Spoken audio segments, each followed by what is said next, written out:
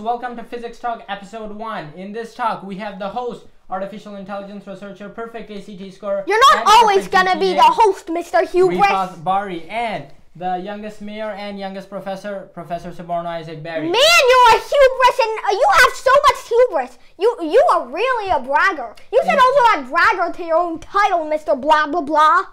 In this episode, we're going to question each other on topics based on physics, and so. Basically, all you need to know is that it's science talk, except we get one minute for each response. Okay, so who wants to begin? I'll begin with the I'll first. begin. Okay. Just kidding, you'll begin. Okay. Are you ready for the first question? Mm, yes. I drop a ball to the ground and the ball hits the ground.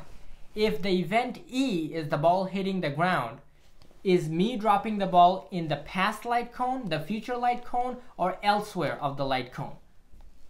Um, it's probably in. Wait. So you dropping the ball is in the past light cone, I would believe. Oh no. Yes, that's correct. Because me dropping the ball is the causation of the event. So of course it has to be in the past light cone. And it can't Okay. be elsewhere because that's outside. You oh, go ahead. Your question. um. Wait, I was supposed to have questions. No, you just ask the next one. Okay. One of the ways that the Greeks knew the Earth was round. Um, well, one of the ways was that um they looked at the North Star, or they looked at one of the stars in the sky at one point in Greece.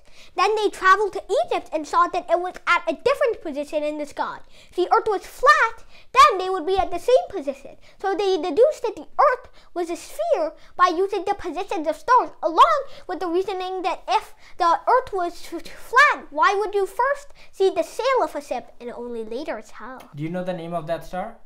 Um, the North Star. What was the name? The North Star. Polaris. But good job. The method Ah. is correct. Are you ready for the next question? Yes. What is one of the arguments against a static infinite universe? Against the static infinite universe. Um, if there was a static infinite universe, then every single thing would just collapse into a single central mass. Okay, sure. And why can't that happen? What was uh, Newton's argument against that? Uh, why can't that happen?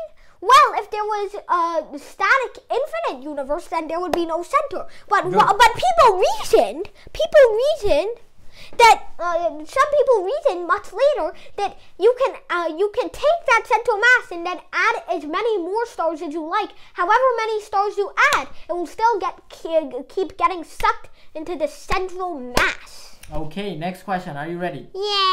Why was the Michelson-Morley experiment so revolutionary for physics? It's Michelson Morley, by the way, and it was revolutionary because it uh, because um it was only realized much later that its experimental results were uh, actually proved that there was no ether, even though many uh, scientists and physicists at the time were like monkeys and they wanted to cling onto their branch of the ether.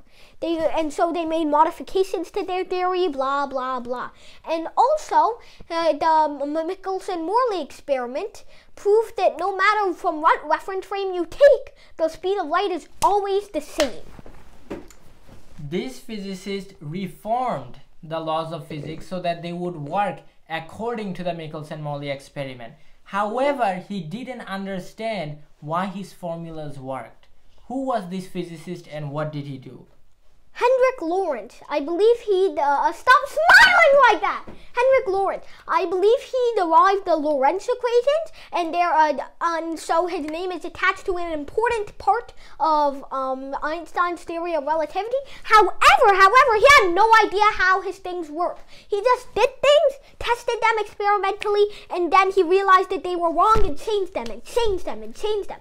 Ad hoc experimentation. Okay, so that's partly true, but he did not do any experiments. He just tried to reform the theory to fit the experimental data, but he didn't do his own version of the Michelson-Morley experiment. True. Okay, are you ready for the next and final Yes! question? I was freaking born ready. We'll see about that. By the way, you answer the final question. Wow, nobody slaps an AI researcher. So, you- Everybody slaps an AI researcher like you, puny. okay, so the last question, I will give you a choice. Should do you want me to ask about uh, Whatever. I don't so- care. Give me anything Okay, you no, want. I, I just don't want to I'm make it too hard for you. In Hubble determined Hubble's constant in 1929. oh. Maybe I wasn't born ready. Anyway, um, I think he determined it by measuring um, the scale at which objects were redshifted. And due to the Doppler effect, those things were redshifted because they were moving rapidly away from us. And the Doppler effect states that the wavelength of stuff gets longer if they're moving away from you and shorter if they get closer to you. Since red is on the longer wavelength end of the visible light spectrum, he deduced that if something was redshifted, then it was moving away from us. So he deduced, um, so he deduced that those galaxies were moving away from us by um the amount of redshift they had. Okay, so let me tell you the correct answer. Oh no! How oh, that means it's wrong.